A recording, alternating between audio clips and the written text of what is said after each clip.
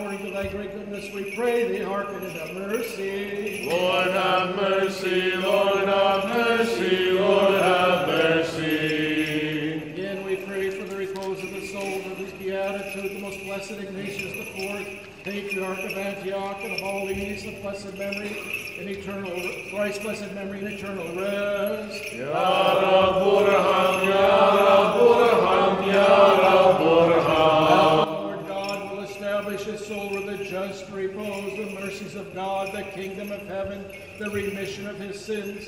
Let us ask of Christ, our mortal King and our God. Grant this, O Lord. Let us Lord. pray to the Lord. Lord have mercy.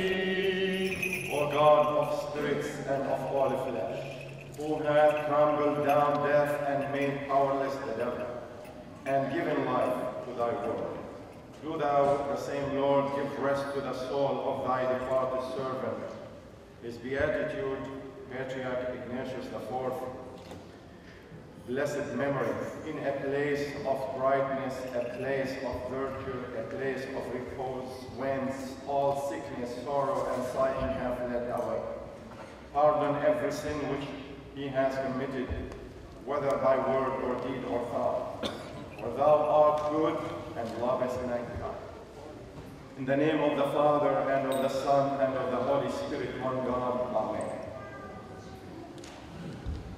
On the occasion of the first annual memorial for the repose of our Father in Christ, Patriarch Ignatius IV, of thrice blessed memory, his Beatitude Patriarch John X presided over a hierarchical divine liturgy and a Trisagion service at Balamand Monastery last Sunday, December 1st. At the conclusion of the liturgy, his Beatitude delivered an awe-inspiring tribute to his teacher, Patriarch Ignatius IV. The Divine Liturgy preceded an exhibition and a three-day conference, three-day conference at Balamand University titled Ignatius IV, the Man and His Legacy. Today, on the occasion of the first year Trisagion in his memory, I would like to highlight some aspects of the legacy of this renowned Antiochian leader, builder, teacher, and theologian, who was considered as a great sower of orthodoxia and orthopraxia. In the funeral oration held for his predecessor, Patriarch Elias IV, Patriarch Ignatius said, I quote, The Lord wished you to be a sower, not a harvester, striving for benefits which the church would reap and the world would obtain for the glory of God. And of course, these same words apply to Patriarch Ignatius. With his undivided devotion to orthodoxia, Patriarch Ignatius put prayer and knowledge at the heart of his orthopraxia. For him, knowledge was an important thing.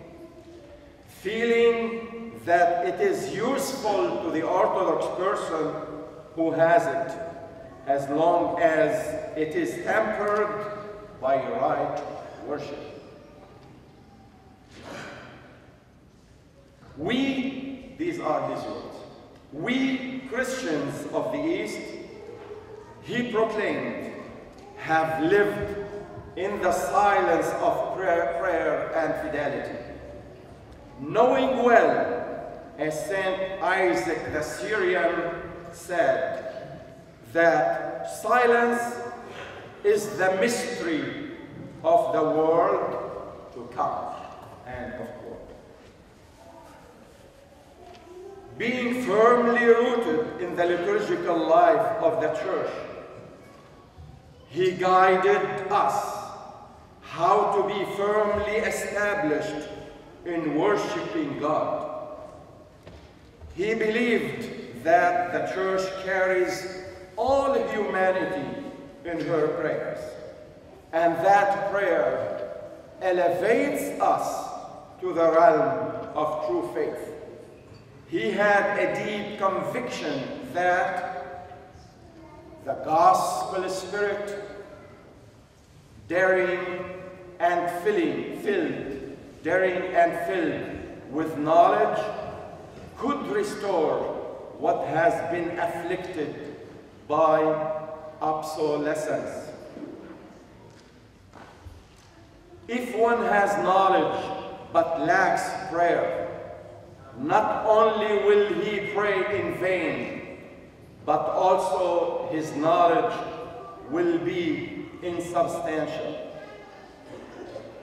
Patriarch Ignatius said, I quote, our doctrines are not merely rational convictions achieved after thinking. They are a concrete reality. End of quote. Knowledge is not a product of spiritual life, but prayer draws everything together and leads to true knowledge. Without prayer, there can be no knowledge.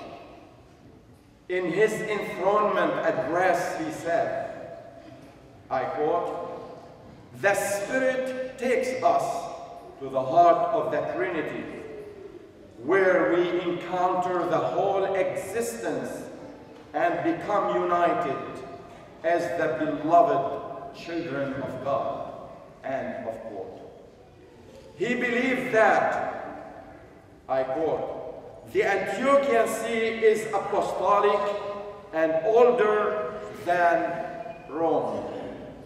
Thus, Rome expects more from us than we expect from them. In that context, we must remember that Rome is not the see of Antioch, and that the existence of Rome does not in any way dissolve the Antiochian Orthodox See. Our heritage springs from the holy tradition from within. Thus we are neither of Rome or Constantinople. We are the root, not the vine.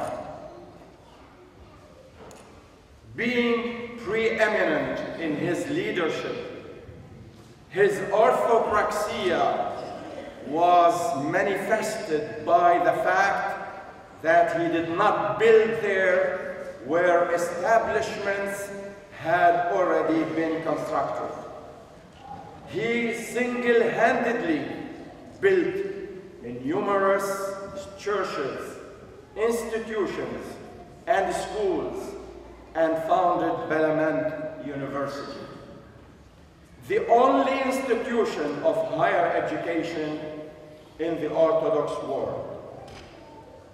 In challenging times, he was determined to fulfill his obligation in response to the needs of the witness of the church, stating, I quote, our religious establishments have been erected as a witness to our Lord Jesus Christ, end of quote.